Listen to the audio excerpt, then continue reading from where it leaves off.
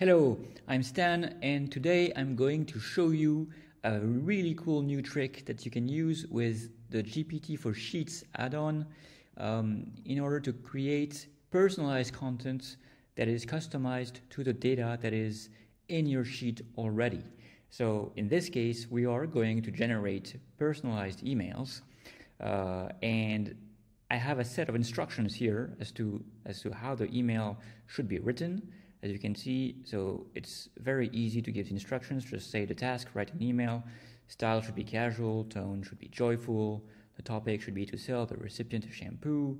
Um, it should start with hi, first name, relate their job title to the topic, which is again to sell a shampoo, and sign as Stan. So you will be astounded as to how easy it is to do that with the GPT function that our add-on provides. So all you have to do is type GPT, then select all the instructions, and here you see that I include the headers of the column of the data that I want to use in the range that I put here. So I include first name and job title. Uh, this is important so that GPT can know uh, what is uh, the next data that will follow. So in the next, uh, as the next parameter in value, I just include this range. So uh, Sundar and CEO. This will be the first example. And I will type enter. And there, we, there we go. I get an email that has been custom written by GPT uh, for Sundar. So it says, Hi Sundar, as a CEO, you know better than anyone the importance of maintaining a professional image. Uh, that means taking steps to ensure your hair looks best, so as you can, as you can see, it, it did follow the instructions. So it is super easy to give detailed instructions as to what uh, you want, uh, how you want the text to be generated.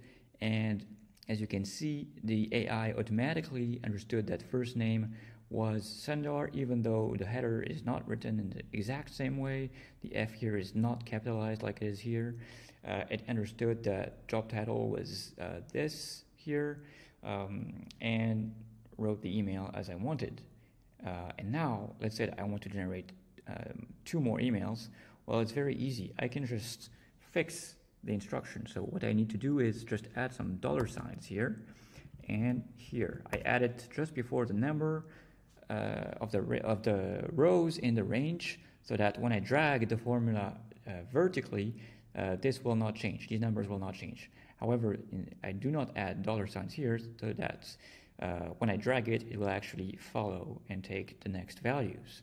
So let me show you. In order to drag the formula, all I have to do is point my cursor to um, the bottom right corner of the cell and then drag. So let me, let's see what are the results. Okay, so now I have one for Elon. Um, as the techno king, I am sure you understand the importance of maintaining a well kept appearance, uh, but with your busy schedule, uh, blah blah blah.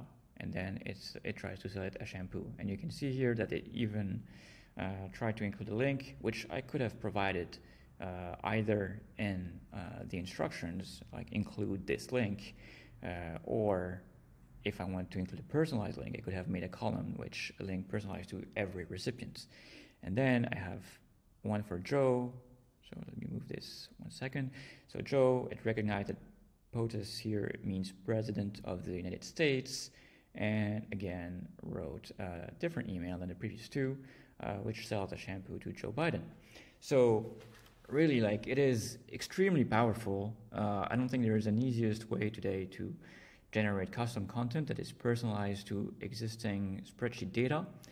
Um, really proud to uh, have released this, and I hope uh, you can use it. There's the, for for uh, very for all the purposes that it can serve. So like generating emails, generating uh, product descriptions, generating stories. Um, there's subject lines. There is like an, an endless amount of possibilities uh, to use this feature for, and it's really like just one simple function where you put the instructions first and then you put um, you include the value.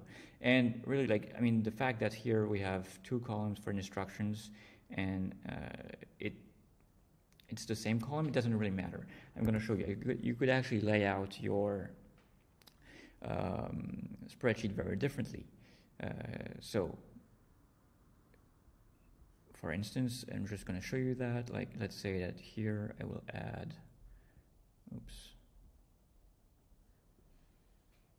I'm just going to delete uh, these functions so that it doesn't recalculate while I move around, move things around. So let's say that here I add three rows and then I will, okay, I will reduce the size of this, this column here and then I will move these things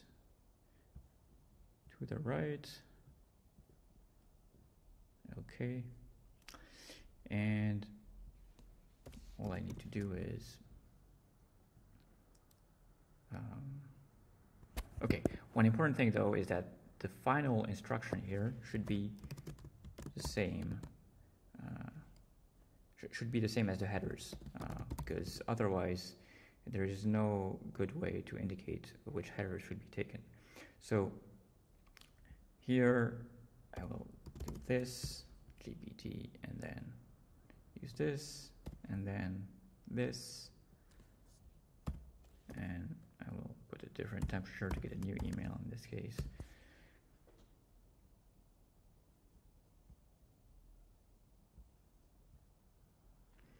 Okay, and there we go.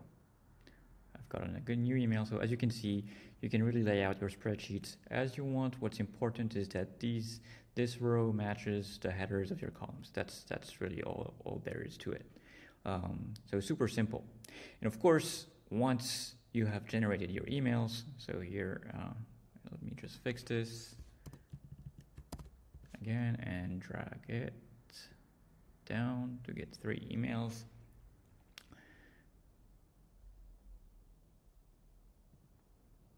Okay, got two new emails here. Um, so once you've got the email bodies, you can you could very simply uh, use our uh, uh, other product, yet another mail merge or YAMM for short, to mail merge that with a Gmail draft. And all you need to do is put this content, put the email body uh, marker, which is something that you would uh, you would just basically put this in your Gmail draft, and um, it will automatically replace for each recipient the content of the email, the, the this uh, tag here by the content of the email. So really super easy. I'll, I'll probably do uh, another tutorial for that uh, that shows go through the whole process at some point. Um, but yeah, uh, please ask questions in the comments.